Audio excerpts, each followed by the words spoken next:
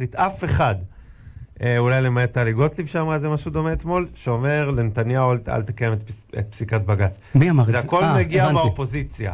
והיום לא מקיים והוא לא זה. אני רוצה אבל כן לשאול אותך, בתור אבל- מי שמבין בזה, האם יש נגיד אופציה לנתניהו לבוא לבג"ץ ולהגיד להם, אני אעשה את זה, רק תנו לי איזה שבוע שאני אסדר את הקואליציה שלי. לא, לא. לא, הם סגרו אותו עד הקצה, ממש. אה, לא, אה, ברמת אה, עיכוב ביצוע נגיד. תראה, לא, לא, אני חושב שלפי פסק הדין זה מה שצריך, זה מה שצריך לקרות, צריך לפטר את מר דרעי או שמר דרעי יתפטר, אבל אני, אני, צריך להיות ברור, הפתרון למר אריה דרעי לא נמצא בבית המשפט העליון. מה שלא יהיה, גם אם חוק יסוד הממשלה בכובעה כרשות מכוננת ב-110 חברי כנסת יקבע שאריה דרעי ורק אריה דרעי יכול להיות שר, אין סיכוי בחיים שבג"ץ יאשר אותו. אה, אני, אני, אני לא יודע, זה, זה, זה צריך להיות הכי מובן שיש, אני לא יודע אם אה, הרב אריה דרעי מקשיב או מי מאנשיו מקשיבים לנו, אבל המסר צריך להיות חד קטר וצלול כבדולח. אין סיכוי בחיים שבג"ץ יכשיר את, משפטי, שבג"ץ יכשיר את מינויו של הרב אריה דרעי בממשלת ימין. פשוט אין סיכוי, זה לא, זה לא יקרה. וכל הניסיונות, הרב אריה דרעי צריך לחשוב כמו המסתננים. בדיוק כמו המסתננים. מה שלא עשו ושינו את החוק, אתה זוכר שלוש פעמים? כן. בג"ץ לא קיבל.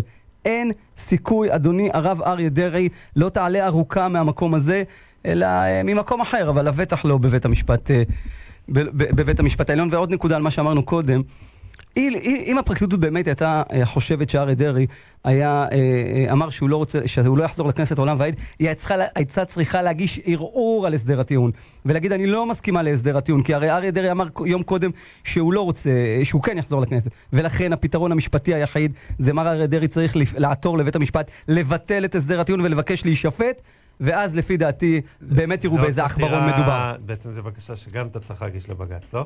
אה, כמה זמן עבר? כן, נכון, נכון. כן. צריך, אבל חד משמעית. מה, יש כאן אה, טעות בשיקול הדעת, יש מקרים כאלה בחוק סדר הדין הפלילי שמאפשרות את זה. זה מה שאתם אומרים, בוא נחזור לשופט, נראה באמת אם עבדו עליו או לא עבדו עליו, נראה אם אה, באמת יש כאן טענת השתק, ומשם נתקדם.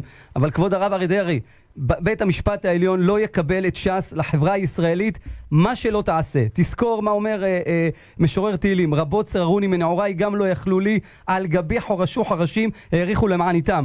על הגב שלך חרשו חורשים, כי לא רוצים את ש"ס ואת מרן אריה דרעי, את מרן הרב עובדיה, כחלק מהחברה הישראלית. עצוב, אבל זה. אמיתי.